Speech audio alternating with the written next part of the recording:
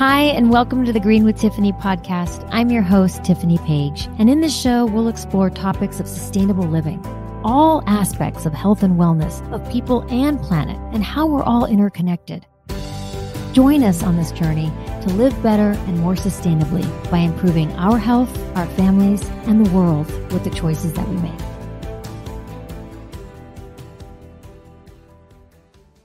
We're here with Dr. April Goebel.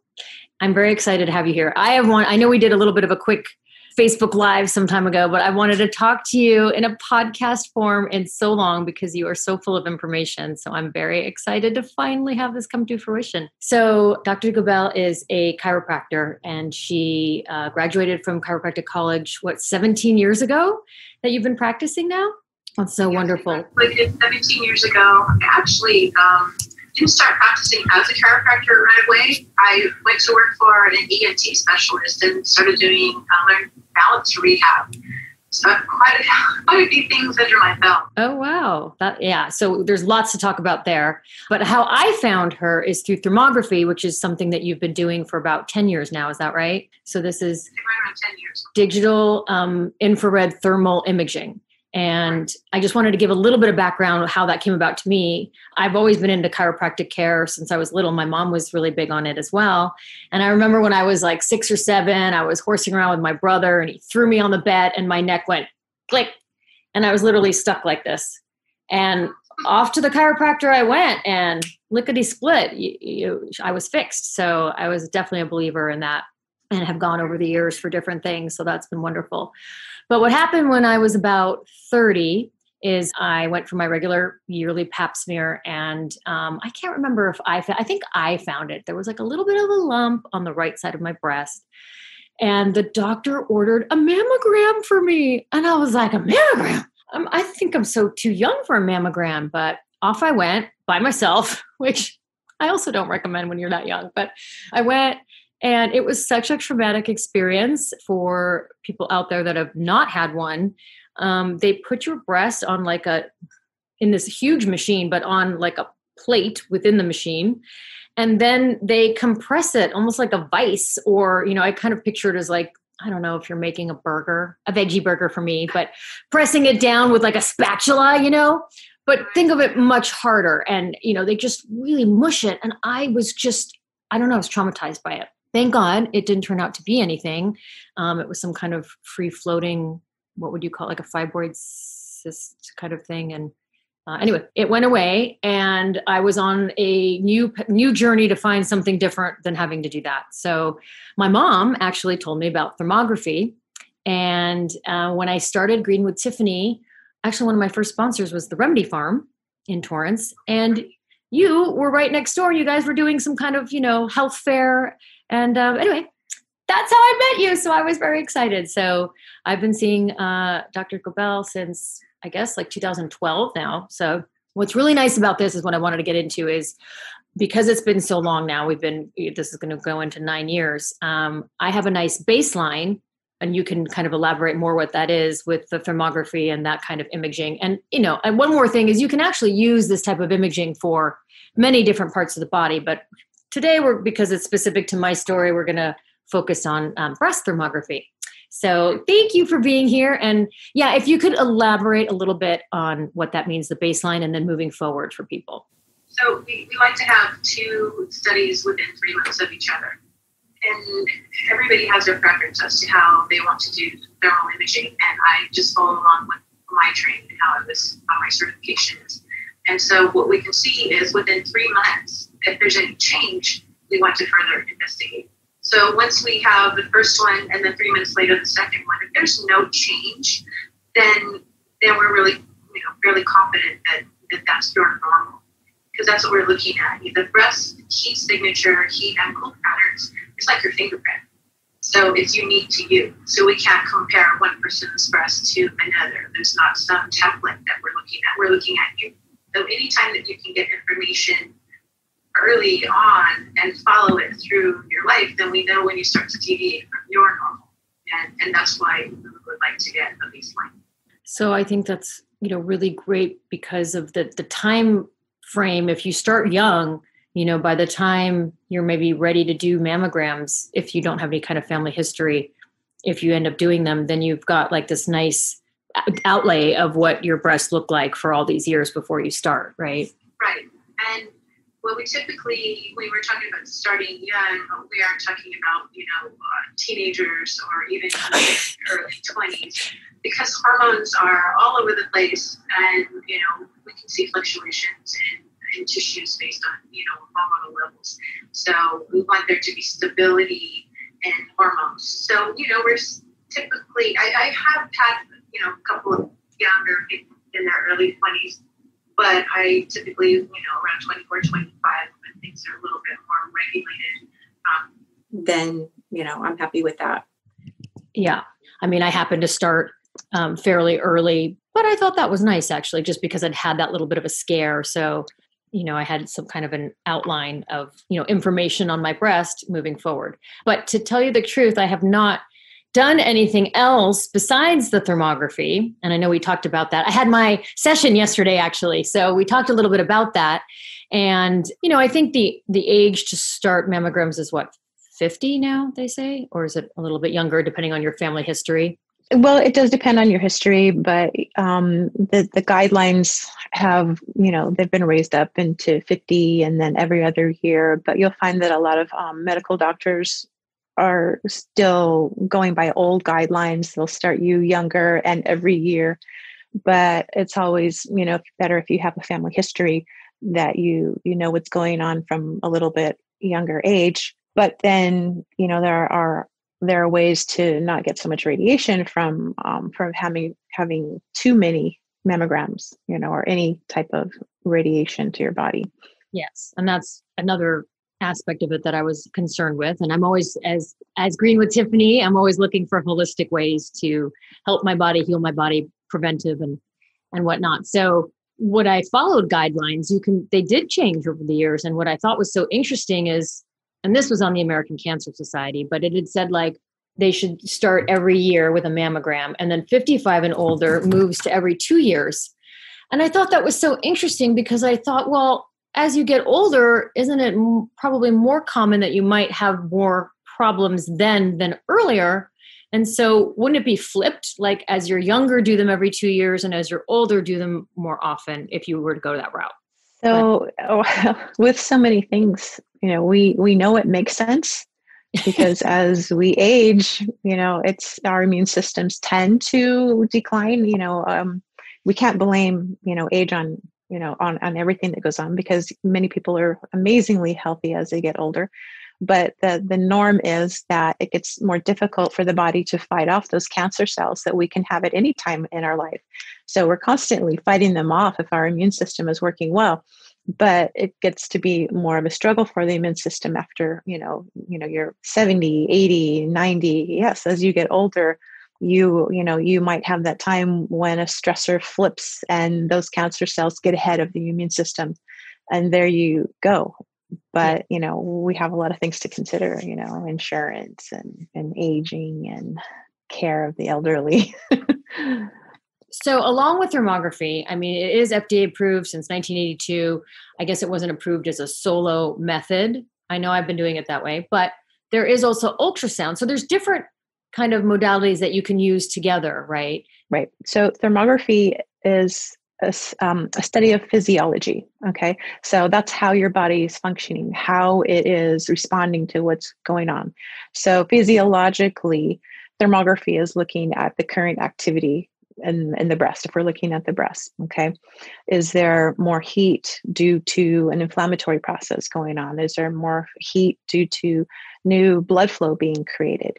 Because a lot of tum- tumors create um, more blood flow for them to feed and to flourish. So that's what we're we're really looking at these these heat signatures. But there, you know, there's also the other side of the coin where cold has indicators too. So yeah, I don't want to get I don't want to get too far off track. But when we're looking at physiology we also don't want to miss structure. So we don't see structural things like we can with x-ray uh, ct scan an mri ultrasound. Those are your some of your studies that are typically used for structure. So structure means something that's actually there. So um, like we were talking about yesterday a calcification you know you can see that. Changes that um, if you have a fibrocystic lesion that's dense enough you may see it on on x-ray. If it's really clearly outlined and if it's really dense you know and you can't see through it then it will it will be picked up. But if you're looking at things that are really tiny um, they can be overlooked. And and i think that i brought up a radiologist you know potentially missing something because years and years ago i worked in a radiology department and and it did happen. The radiologist missed this micro calcification like the grain of sand you know and years later they came back and you know um, they wanted all the records and there it was you know looking at it again. And of course it had grown and she had cancer. But now things are a lot you know better computer aided you know looking at things. So um, you know things have gotten you know more fine tuned but structurally i always say you know let's look at something that doesn't have radiation you know if you're just doing regular screenings you you know thermography and ultrasound thermography and an MRI, you know. So that's that's what I recommend. You really should have a test of structure and physiology. Now, whether you want to do those every year or you want to alternate, you know, we have to be informed to make those decisions, making those decisions with a healthcare provider that is that is open to taking in your considerations. It's current with you know the potential you know risks versus benefits so we can't just say that thermography takes the place of any structural test because it's not looking at structure it's looking right. at what's going on in the background but what i you know really wanted to bring to awareness is for people that don't even know if this is an option you know it's not necessarily offered at your doctor's office you know i looked up the price of the mammogram machines because there's these enormous x-ray machines and Mm-hmm. They're very expensive. They're, you know, like 200 to $500,000 and they are in, they're already in place. Right. So, and that's right. kind of the procedure that has been followed for all these years. And that's what people are moving forward with. So, and so, you know, it's not necessary, necessarily something that's then going to be offered when these you know these other machines are already put in place and this already is done so anyway i really wanted to bring awareness that this is an option to use in combination with other things. You know, maybe it, it gives you uh, the ability to do a mammogram less often, you know, for less radiation while Absolutely. using mammography as another tool. So I thought it was right. Up. And um, I actually wouldn't have known about it if it wasn't for my mother. So I have my mom to thank. Thanks, mom. and I also wanted to point out for I mean, I live in Los Angeles and, you know, many, many women have breast implants here. And, you know, when you do a mammogram, I mean, it's not comfortable for a non breast implant uh, person. So, you know, I just wonder if there's any possible kind of damage that can be done. And you won't necessarily know. It's not like you were going to hear a pop or something, but, you know, being compressed like that, you know, does it, does it cause any kind of problems down the line. And so I thought that, you know, thermography, like you said, along with like an ultrasound or even an MRI if needed, you know, that could be a little more non-invasive. right. And and the thing is with the with implants, first the discomfort level might be even much greater because you're talking about something artificial that now your tissue tissue is bonded to and so you're compressing that and you know potentially you might have pain you know for days after instead of maybe just discomfort that day you know and, and i think that sometimes i'll even tell you oh if you have discomfort go home and ice it's like wow you know from a mammogram i might need to go home and ice you know something my breast or my armpit. And so you know um, with implants it might be increased. And since we're not even touching the tissue you know the camera picks up the heat from the breast tissue from a distance we um, you know we aren't causing any harm at all. And you know heaven forbid there's you know some um, integrity loss of the implants and you know compression doing a mammogram might potentially cause a leak and depending on whether you know you have um, the silicone or a saline you know the saline if there's a leak that's it you're just you know you're going to lose it and you know it's absorbed in your tissues but then you have you know the resolution to that is, is surgery Yeah. So, you know, the more gummy type ones, the silicone and the, the gummy bear type, you know, breast implants, they aren't going to to leak like that. You know, they they will leak, but you know, it's not going to be a noticeable thing and you might not know for a long period of time that you have a loss of integrity in the implant. Yeah, that's something um, that for you to kind of visualize out there is so I went yesterday. I sit on a stool. The camera, it's great social distancing. I mean, you're definitely at least six feet away from me. Um, so there's no contact at all. Um, and you just kind of raise your arms and you know pictures are taken from different angles and um, and that's it. So talk about non-invasive. I mean you know you're just flying free out there topless for a minute but other than that it's totally fine. So um, i think it's pretty fantastic and painless and i think uh, of great importance and i hope more information comes out about how how great thermography is to use in conjunction with other methods. Uh, yeah, but i did want to go in a little bit about your chiropractics as well. It's really nice to be able to care for people, you know. So people are coming through. It's a very different model. It's just the you know straight um, adjusting. So there aren't any therapies involved in that.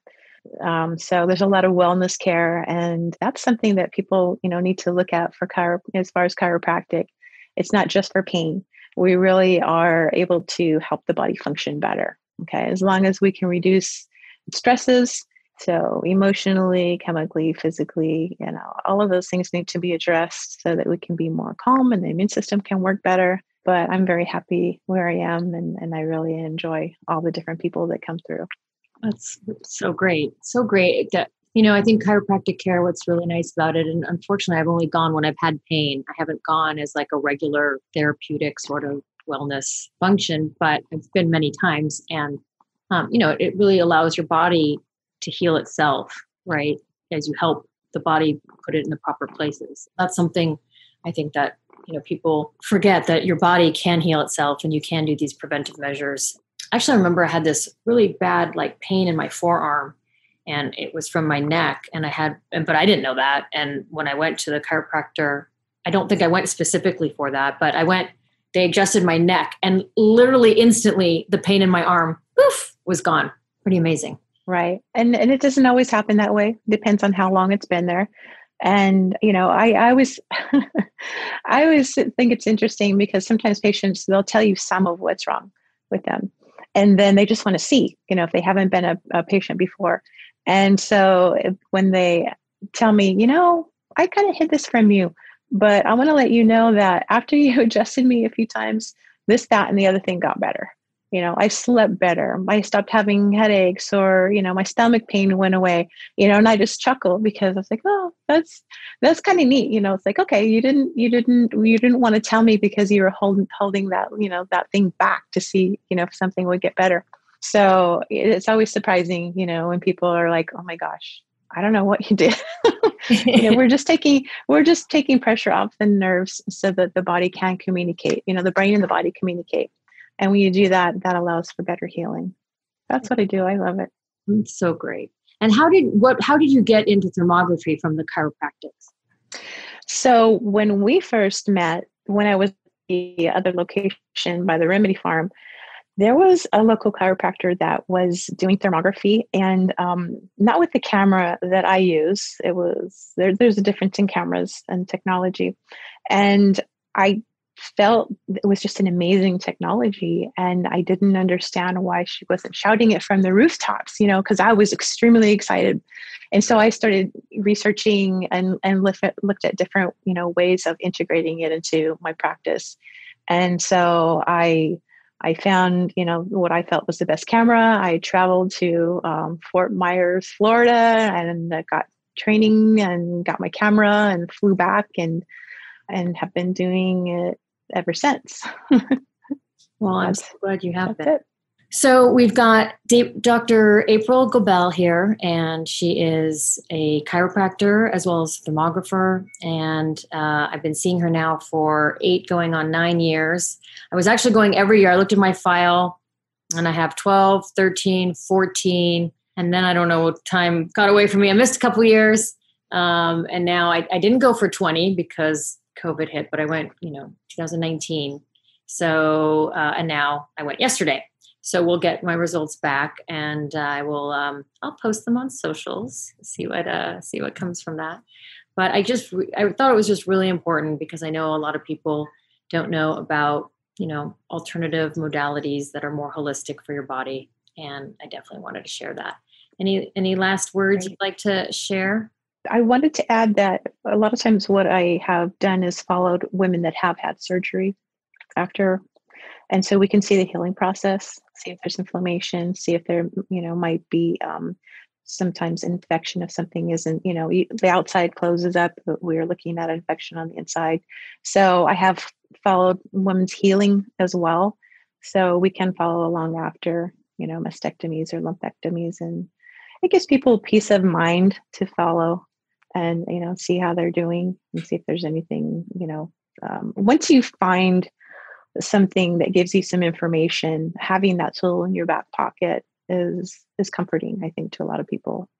Very comforting and that is actually never thought of that such good information especially because if you have had cancer you know i know you're still then supposed to keep going to mammograms but that's just more and more radiation and now i think they have these 3d mammograms. I don't know if they're more radiation or less, but uh, I think you can do yeah. the math there. So to follow um, people that are healing and to see the changes, you know that that that must be a great way for people to, like you said, have peace of mind and to kind of really see what's going on.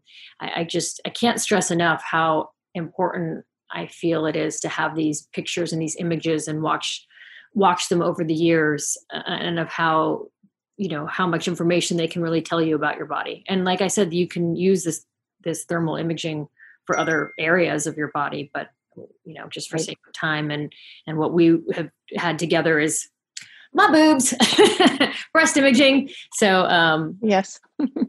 yeah i mean i think even one time we did it and there was like even a little warmer spot once and we you know it was something we wanted to watch and then we did it again and it was you know it was cooler again. So Right. So that hormonal shift or inflammation in the body, uh, um, you know, they can they can shift. But through the company that I use, every scan that you have done is in the database, and so it's HIPAA compliant. And the the medical doctors that specialize in reading them, they get to see your whole history and see any changes. They can reference all of that which is really fantastic. So, well, I thank you. I thank you for what you do, and thank you. And I will, of course, uh, put your information how to get in touch with you if you'd like to see Dr. Goebel. We can definitely make that happen. And I guess I will find out my results from you soon, and then I'll see you next year. yes, I will take a look. They might be back already. So. Oh, okay, great. Well, thank you. And I'm going to post them, you guys. You can't really see anything. It's just, you know, like a shadow in color it's kind of cool. It's almost like artwork, actually. it is. Yeah. You know, you could blow those up and put them on your wall. you could. You could do them over the years, right? I'll do my 12, my 13, 14. a collage. Yeah, there you go. collage, like an Andy Warhol collage of four, a foursome. That's yes. Not a bad idea. That would definitely start conversations about what that is, and then I can go into thermography. Wonderful. Absolutely. I don't I think people might know what it is. Maybe I don't know. I you know I tell people about it and nobody's nobody knows that I've mentioned it too. I just uh, yeah, true. I just wanted to sort of you know definitely raise awareness out there. So I thank, thank you. you for that. I thank you for the information and for spending your time here with us. And talk soon again in the future. All right. You have a wonderful day. Okay. Thank you, Dr. Goebel. Thank you so much for listening. I hope you enjoyed the show. Please rate, review, subscribe, and share on Apple Podcasts. It would mean the world to me. You can find me at greenwithtiffany.com and on Instagram. Till next time, choose to care.